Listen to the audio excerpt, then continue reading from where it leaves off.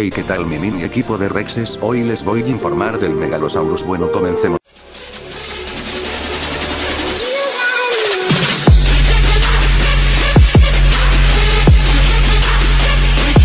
El Megalosaurus fue un dinosaurio, que vivió hace aproximadamente 167 millones de años en el Jurásico, en lo que hoy es Europa y posiblemente también en América, Asia y África.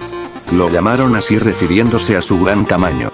Este dinosaurio se lo relaciona, según lo descubierto, con el Torvosaurus del Norteamérica y el Poequilopleuron de Francia características. Los primeros restos hallados fueron bastante escasos, consistiendo en apenas una mandíbula, unos dientes y algunas vértebras, pero desde entonces, se han hallado muchos más restos fósiles del animal, que nos dan una idea más generalizada de este terópodo. Tenía una cabeza enorme con unas mandíbulas muy alargadas armadas con más de 30 dientes afilados y aserrados que desgarraban la carne de sus víctimas. Las raíces de estos dientes estaban bien clavadas en las mandíbulas para evitar perderlos. Esto se debe a que el Megalosaurus cazaba mordiendo el cuello de sus presas, y no golpeándolas con las mandíbulas como los allosaurios. Las patas traseras del animal eran muy largas y musculosas, permitiéndole correr a más de 22 km por hora, pero su constitución no era como la de los raptores, por lo que no era demasiado veloz. Los brazos eran relativamente cortas, con tres dedos largos y garras afiladas, que servían para desgarrar la carne de sus presas. El Megalosaurus poseía un mordisco de 3,024 sí. Historia. Megalosaurus fue el primer dinosaurio en ser estudiado y tener un nombre. En 1676, se recuperó un fragmento de maso en una cantera en Cornwall, Inglaterra. Este fragmento de maso fue enviado a la Universidad de Oxford, específicamente al Dr. Robert Plot. Él publicó una descripción de este resto en 1677.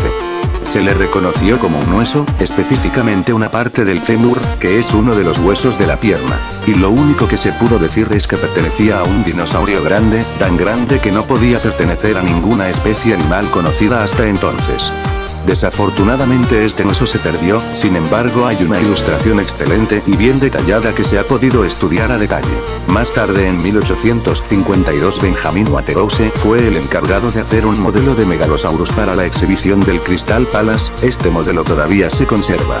Los paleontólogos no tenían muchas nociones de cómo se pudo haber visto una criatura de estas características, y no fue hasta la segunda mitad del siglo XIX que se encontraron más huesos y poco a poco se fueron describiendo y la idea que se tenía fue cambiando. Pero para cuando se descubrió el primer diagrama de megalosaurio, se reconstruyó con partes de otros, resultando en con una apariencia profundamente diferente, incluso podemos decir que lo representaron un poco más como un Spinosaurus, porque incluso le incluyeron una pequeña vela. Antiguas descripciones. En 1852, Benjamin Waterhouse Hawkins fue comisionado para construir un modelo de megalosaurus para la exhibición del Crystal Palace, que se conserva aún hoy en día.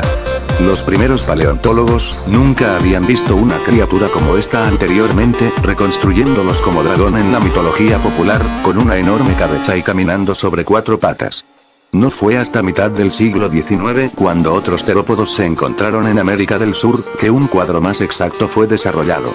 Una gran confusión todavía existe, antes de que la clasificación de los dinosaurios se convirtiera en un asunto más serio, a todos los terópodos de Europa se les dio el nombre de Megalosaurus. Desde entonces, estos se han reclasificado pero sobre todo en los trabajos científicos más viejos se pueden percibir todavía la confusión. Para aumentar dicha confusión, el diagrama reproducido del esqueleto de un Megalosaurus, fue producido antes de que se hubiera encontrado alguna vértebra mientras que el dibujo de Friedrich von Huene de la Universidad de Tübingen, Alemania, utilizó las espinas dorsales de Altispinax, un misterioso terópodo grande conocido por las altas espinas de sus vértebras dorsales y clasificado ocasionalmente como espinosáurido. Por lo tanto, muchos dibujos posteriores, basados en su original, muestran megalosaurus con un borde espinal profundo o más aún una pequeña vela, como la de Spinosaurus. Alimentación. Se cree que el Megalosaurus era un carnívoro con mucho apetito, ya que vivió durante el período Jurásico, se cree que pudo haber comido estegosaurios y saurópodos como Cardiodon y Botriospondylus. El Megalosaurus era un carnívoro realmente grande, sin embargo algunos han teorizado que pudo haber sido carroñero, es decir que se alimentaba de animales muertos o de las presas que otros no terminaban. Bueno chicos espero que les haya gustado sin nada más voy decir me despido chao.